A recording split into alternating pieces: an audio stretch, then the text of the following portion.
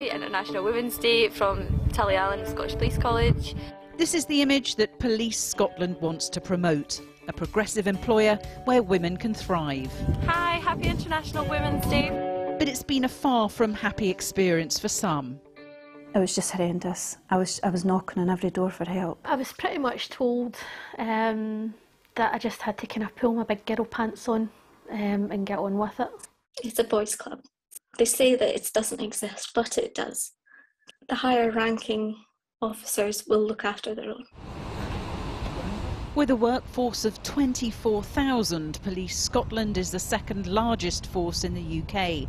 40% of the staff are women. But an independent review last year found what it described as a canteen culture, where racist and sexist attitudes went unchallenged. Now a tribunal has provided another damning insight. Rhona Malone loved her job. After seven years in frontline policing, she joined a firearms unit, working alongside the only other female officer. We took the opportunity to work together and we got great results, you know, from that shift that we worked together. So, you know, we were on a high. But that high came to an abrupt end when Rhona was told she could no longer work with another woman. Her inspector said it made more sense from what he described as a balance of testosterone perspective. I laughed. I actually laughed at it. And then after a few hours, it sunk in. Do you know, it's a tough environment. It is a really tough environment. And I was so committed to that job. I loved that job. And to get that email basically said that I wasn't good enough. It's been a long and lonely battle for Rhona since then. An employment tribunal has now found that she was victimised through a bungled grievance process.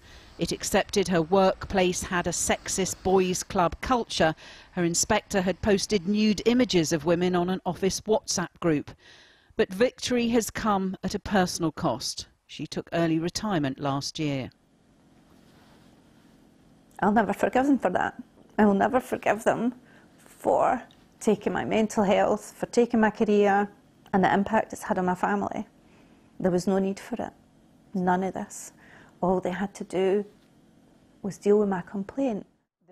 Rhona Malone's solicitor believes her case reveals a culture of denial in Police Scotland It cannot be said, in my view, that it's a, an example of just a few bad apples, because that case involved victimisation by around half a dozen uh, individuals within Police Scotland over several departments and in all ranks of policing. Like Rhona, Leslie Ann Kennedy loved her job on the front line. She was allowed to reduce her hours when she came back from maternity leave but says she was put under huge pressure to return to her full-time post as soon as possible. If I had a broken leg, it would be a case of, that's fine, you've got a broken leg, we can see there's something wrong. Um, when it's something that they can't visibly see, there seems to be this attitude that they're saying that um, she's hanging the P, you're kind of hanging it out kind of get away with doing the front line stuff, or you're looking for a cushy number, and and that's really was never the case. Leslie Ann's mental health deteriorated, but she felt she got little sympathy from her bosses. I was driving to work in the mornings, feeling like if I just run into the lorry in front of me, it'll all be, it'll all be done. Did they know that you felt suicidal? It was very much kind of just glazed over. Um, but yeah. What was your reaction to that? it kind of fed into the way I was already feeling that I didn't really matter. After 17 years in Police Scotland, Leslie felt she had no choice but to take early retirement. You left in 2019? Yeah. Do you think things have changed? No. I know people who are struggling with their mental health, who are in posts, protected posts, because there's kind of a similar thing. They're being pushed to get back to the front line, and the general attitude is they're just in there looking for a cushy number, and it's still happening. It's still very much the attitude. So, no, I don't think things have changed. Some of the bosses were like, you know, you're sure you want to do this? This woman left the police two years ago but asked to keep her identity hidden because she hasn't told her children why she left.